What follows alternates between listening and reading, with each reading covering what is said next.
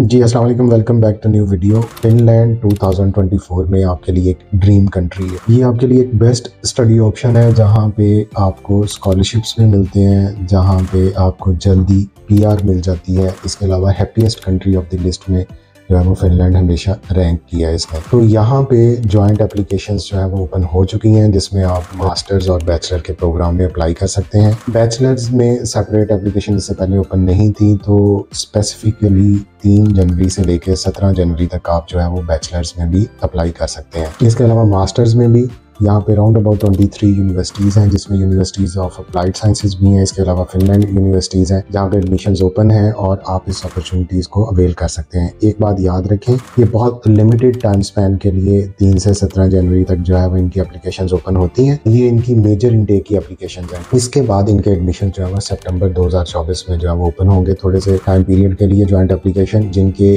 Classes जो है वो जनवरी टू में होगी। तो ये वो गोल्डन टाइम है जिसमें अगर आपने ये मौका मिस कर दिया तो फिर आपके पास आगे चांसेस बहुत कम रह जाएँगे फिनलैंड में पहुँचने के लिए। कैसे पहुँचना है, ये सारा कुछ इस वीडियो में मैं एक्सप्लेन कर रहा हूँ। वीडियो को देखें। पहले इसमें समझें कि क्या फिनलैंड का एजुकेशन सिस्टम है, क्या, कैसे आप अप्लाई करेंगे, क्या डॉक्यूमेंट्स रिक्वायर्ड हैं, और इसके अलावा आपको कितने चांसेस हैं कि आपको स्कॉलरशिप मिल जाएगा। ये सारा कुछ इस वीडियो में मैं एक्सप्लेन कर रहा हूँ। चलते हैं वीडियो की तरफ़।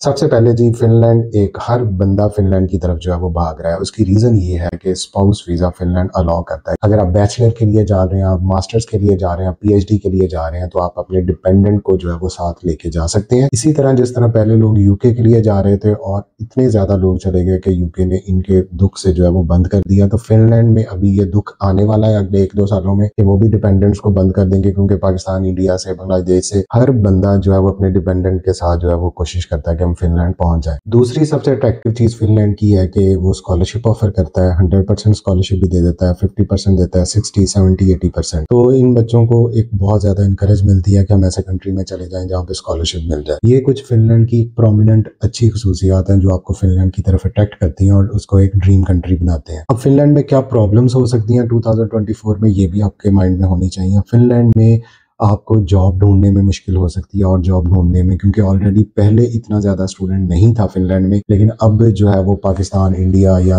यहाँ से इतने ज़्यादा स्टूडेंट्स जा चुके हैं कि उनको जो है वो जॉब्स का प्रॉब्लम बन गया कंपटीशन आ गया है। प्रोफेशनल जॉब्स में इतना ज़्यादा कंपटीशन तो नहीं है, लेकिन जो और जॉब्स हैं इसमें ज़्यादा है। तो अब फीसें भी इंक्रीज हो गई हैं। पिछले साल फॉर एग्ज़ाम्पल बात करें तो आठ हज़ार से लेके फ़ीस थी इनकी राउंड अबाउट दस हज़ार। यूरोज के अराउंड लेकिन अब जो है वो इनकी फ़ीस आठ हज़ार से शुरू होकर पंद्रह हज़ार यूरो तक चली गई है। तो आपके पास एक फाइनेंशियल सोर्स जो है वो एक स्टेबल होना चाहिए कि अगर आपको वहाँ पे जाके जॉब नहीं मिलती तो आप पीछे से अपने माँ बाप से जो है वो पैसे मंगवा सकें। और इसके अलावा जो बच्चे आईटी के हैं, उनके लिए खुशखबरी ये है कि वो रिमोट जॉब्स जो है, वो यहाँ से पहले किसी ना किसी जॉब्स को वो काम कर रहे हो। कम अज कम छह माह यहाँ पे आप इन चीज़ों में अपना सर कपाएँ। जब आपका फिनलैंड का एडमिशन आ जाता है, उसके बाद अपनी रिमोट जॉब्स को जो है वो ढूंढना शुरू कर दे ऑनलाइन जॉब तो उसकी जो है वो फिनलैंड में बैठ के भी आप अपने रूम में, जहाँ पे बहुत बाहर ज़्यादा सर्दी होगी, जैसे आजकल टेम्परे में जो टेम्परेचर है वो माइनस ट्वेंटी सिक्स या हेलसिंकी में टेम्परेचर जो है वो माइनस के राउंड अबाउट चल रहा है तो आपको इनडोर जॉब्स या आईटी की रिमोट जॉब्स जो है वो बहुत ज़्यादा फ़ायदा देंगी, ठीक है? अब हम बात करते हैं कि आपने कैसे अप्लाई करना है। लेकिन फिनलैंड में जो है वो एडमिशन जो है वो चार तरह के होते हैं।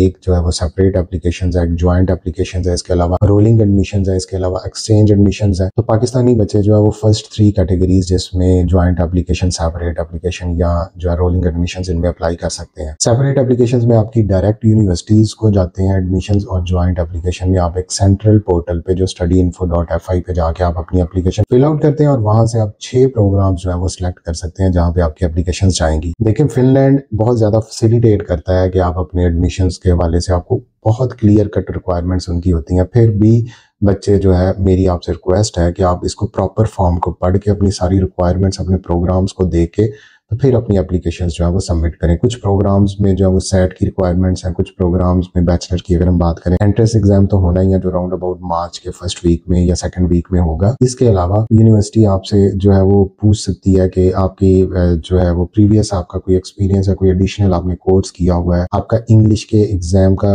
स्कोर जो है वो मस्ट होना चाहिए। अगर हम बैचलर की बात करें तो 6.0 नॉट लेस देन 5.5 और अगर हम मास्टर के एडमिशन की बात करें तो 6.5 नॉट लेस देन 6 ये मोस्टली हर यूनिवर्सिटी में ये क्राइटेरिया एक्सेप्टेबल है। मास्टर्स में आपको कुछ प्रोग्राम्स में आपको प्रीवियस जो है वो एक्सपीरियंस चाहिए और उन प्रोग्राम्स में अपनी एक्सपीरियंस कम अज कम दो साल का आपकी डिग्री के बाद होना चाहिए बैचलर की डिग्री के बाद। तो फिर जो है वो कुछ प्रोग्राम्स में आपको एग्जामेशन मिल सकती है आइल्स के हवाले से और यूनिवर्सिटी आपका जो है वो इंटरव्यू कंडक्ट करेगी। तो selection of the programme selection of the university selection of the relevance of the programme तो ये बहुत ज़्यादा मैटर करती है फिनलैंड में आपके अप्लाई करने के लिए। मोटिवेशन होनी चाहिए आपकी स्कॉलरशिप की, आपका लेटर ऑफ़ मोटिवेशन अच्छा होना चाहिए, आपके रेलिवेंट सब्जेक्ट्स हों पीछे उस कोर्स के हवाले से, आपको क्रेडिट आवर्स कन्वर्ट करने पड़ेंगे, क्योंकि पाकिस्तान में जो है वो सी सिस्टम 4.0 चलता है और फिनलैंड में 5.0 है। तो वहाँ के जो है वो बैचलर डिग्री करने के लिए आपको 180 क्रेडिट आवर्स रिक्वायर होते हैं, जबकि पाकिस्तान में आपको बैचलर डिग्री चार साल में 130 क्रेडिट आवर्स रिक्वायर होते हैं। तो आपको अपने क्रेडिट आवर्स को कन्वर्ट करना पड़ेगा फिनलैंड के एजुकेशन सिस्टम के अकॉर्डिंगली जितना आप अपने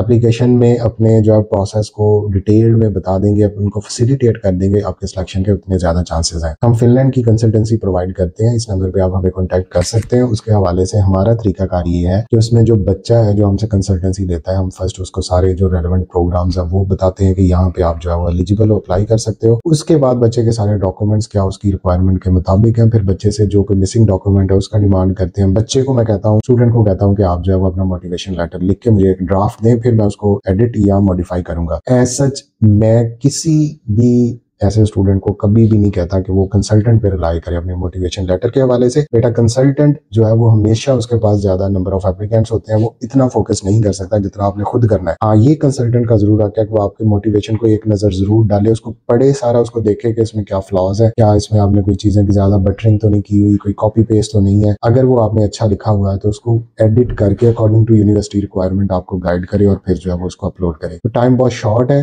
हम ऑलरेडी जो है हमारे पास काफ़ी ज़्यादा बच्चे हैं जो फिनलैंड के लिए कंसल्टेंसी ले रहे हैं और आपके सामने इनके रिज़ल्ट जो है वो मार्च, अप्रैल में आना शुरू हो जाएँगे। तो इस गोल्डन चांस को मिस आउट ना करें। फिनलैंड एक अच्छी कंट्री है। आपको एक लाइफ सेटलमेंट दे सकती है, आपको पीआर दे सकती है, जिसके बाद आप यूरोप में कहीं पे भी रह सकते हैं। जो कोई फिनलैंड गया, मैंने नहीं आज तक देखा कि वो फिनलैंड से वापस या कहीं और आगे मूव किया और लोग वहाँ पे सेटल हो जाते हैं। डिफिकल्टी ज़रूर है, लेकिन नामुमकिन कुछ नहीं है। बजट की बात करें तो ये तकरीबन आपके पास कम अज कम आपके माइंड में जो है twenty five to thirty lakh होना चाहिए, ठीक है? और ये सारी चीज़ों के बाद जो है, अगर आप फिर भी जो है वो कंसल्टेंसी लेना चाह रहे हैं, मैंने आपको ऑलरेडी काफ़ी वीडियोज़ में बता चुका हूँ कि कैसे इनके सब्जेक्ट ढूँढने हैं तो आप हमसे रब्ता कर सकते हैं थैंक यू सो मच